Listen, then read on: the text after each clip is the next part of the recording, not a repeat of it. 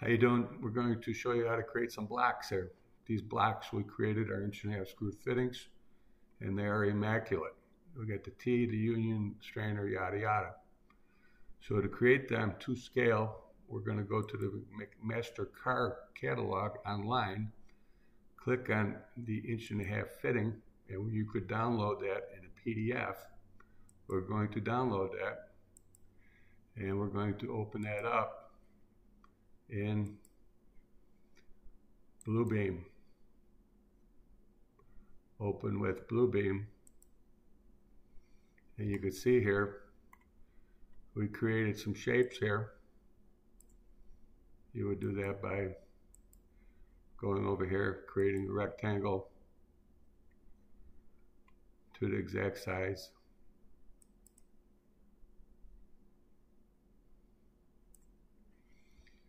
Change your line color. Change your fill. Okay. So here's the shape I created. We're going to drop that in.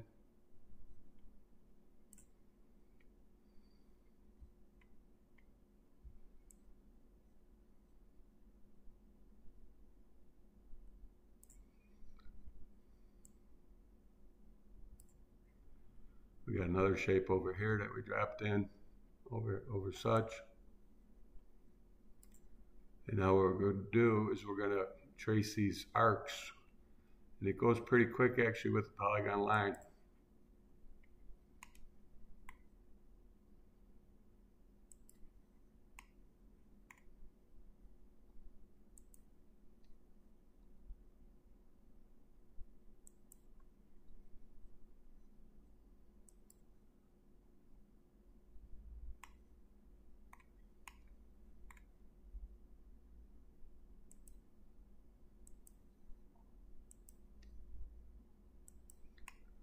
This is blown up so big you won't see any deviation in this arc whatsoever. And then we have to join these three shapes into one block. And that's by right clicking and pressing group.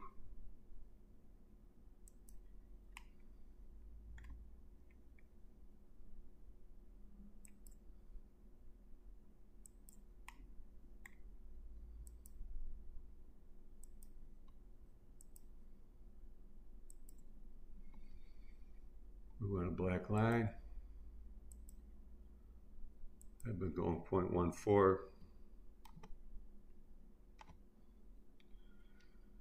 And then our fill is going to be gray. Now what we want to do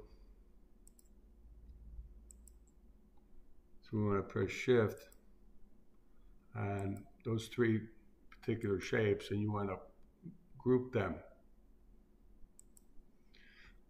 once they're grouped, then you can set that to your tool chest. Our tool chest right now is screw fittings.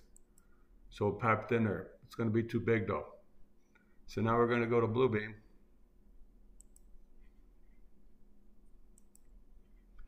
And I created a, a drawing. and my drawing was set to custom, I did two inch equals one foot with the 0.001 calibration. So now I need to create a piece of pipe. So my pipe, I'm going to use my Bluebeam converter. I need inch and 7 eighths for the OD of inch and a half. So by clicking this, I can change that. Inch and 7 eighths with a 2 inch equals 1 foot. That line needs to be 0.3125. So I go to my Bluebeam, I insert a rectangle, I open up the properties, and you can see the height is not right. So I go 0.3125, now that equals inch and 7 eighths. And we could verify that by measuring that.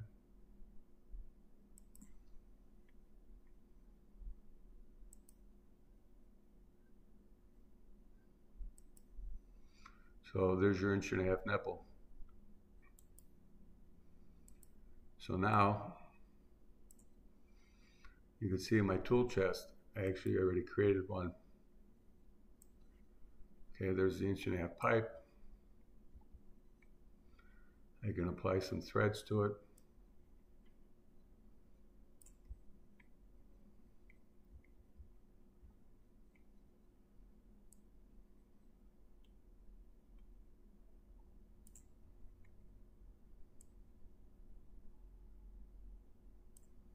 So the first time you drop that tool, that block in there, it's going to be way too big. So what you got to do is you got to shrink it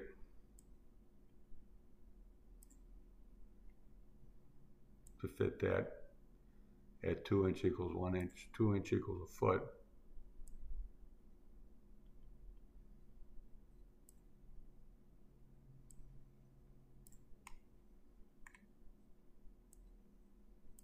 Now you can also change the length of that block. We didn't change the height, so it's still an inch and seven eighths. Let's put another thread on the other side.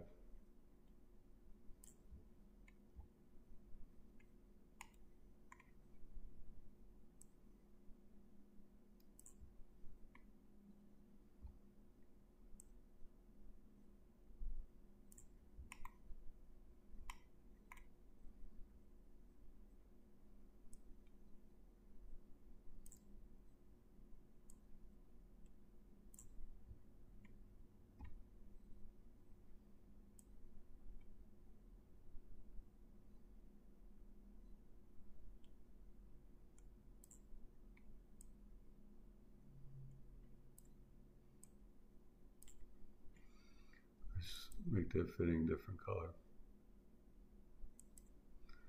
All right.